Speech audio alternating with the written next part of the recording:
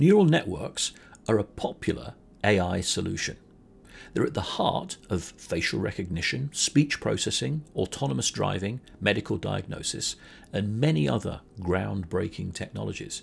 They've been used to surpass human endeavour at games of skill like chess and Go. But what is a neural network? This five part video blog will give you a primer in this exciting technology. This first post describes the essential components of an artificial neuron.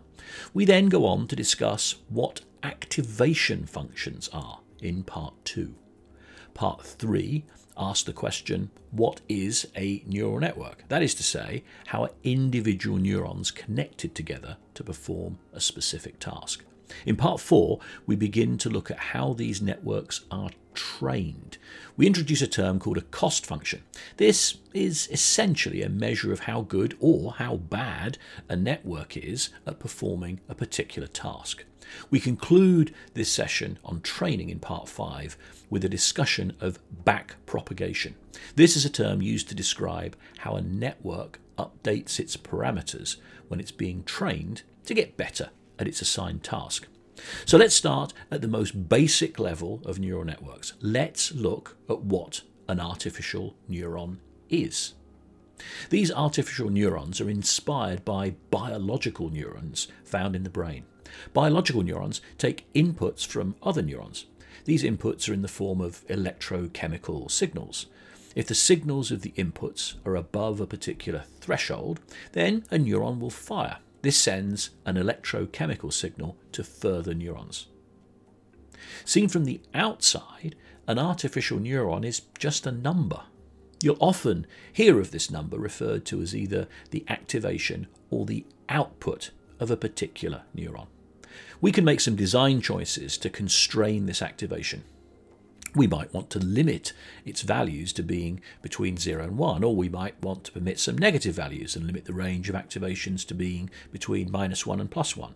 Alternatively, we might want the activations to be between 0 and infinity.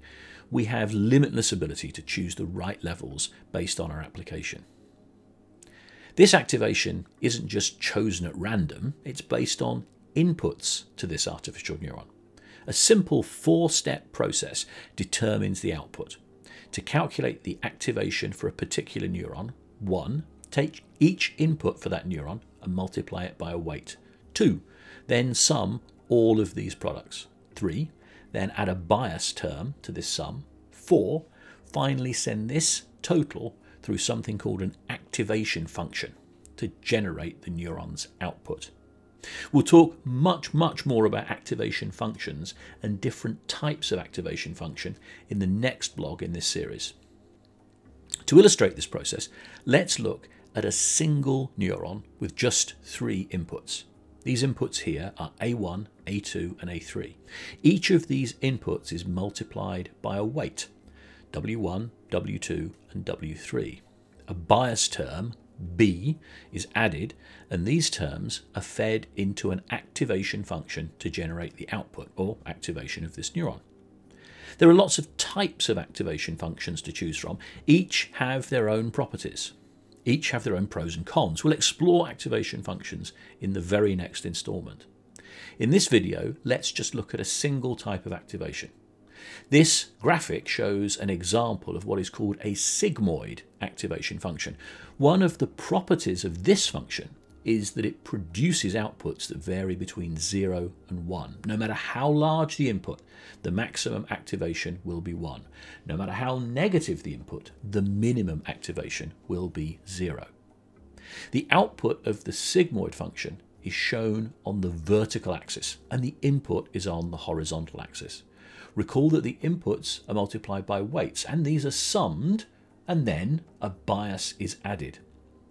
This total is then fed into the sigmoid activation function as an input and the input is represented here on the x-axis. This chart shows the impact of a negative bias. This has the effect of activating the neuron for lower levels of inputs. This chart shows the effect of a positive bias, this requires the inputs to be much larger to excite and activate the neuron. This concludes this short blog. I hope that you now have a clearer understanding of what an artificial neuron is. If you have any questions, please leave them in the comment section. In the next video, we'll look at other examples of activation functions and then discuss how we stack neurons together to make networks.